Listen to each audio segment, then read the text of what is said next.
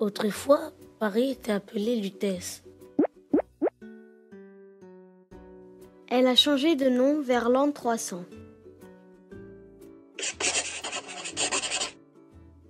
Paris a été la résidence de presque tous les rois de France. C'est la capitale du pays. Paris a beaucoup changé au fil du temps. Au XIXe siècle, le baron Haussmann a rénové la ville moyenâgeuse en faisant construire de hauts immeubles en pierre avec des grandes fenêtres. Il a aussi fait élargir les rues.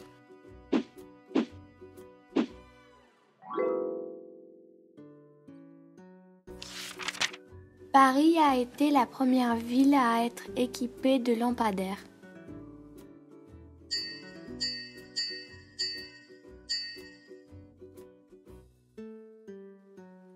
Mais ce n'était pas pratique à entretenir car beaucoup de personnes devaient les allumer. Voilà pourquoi on l'appelle encore la ville lumière.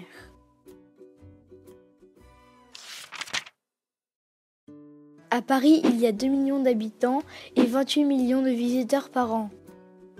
C'est d'ailleurs la ville la plus visitée du monde. La Seine traverse Paris et il y a 37 ponts qui permettent de passer d'une rive à l'autre. Il y a 20 quartiers que l'on appelle arrondissements. Il y a aussi 14 lignes de métro.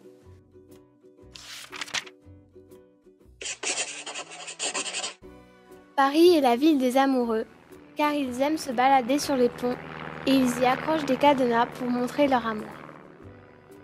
C'est aussi la ville de la mode. À Paris, on peut trouver de jolis jardins avec des fontaines. On dit que c'est la ville la plus romantique.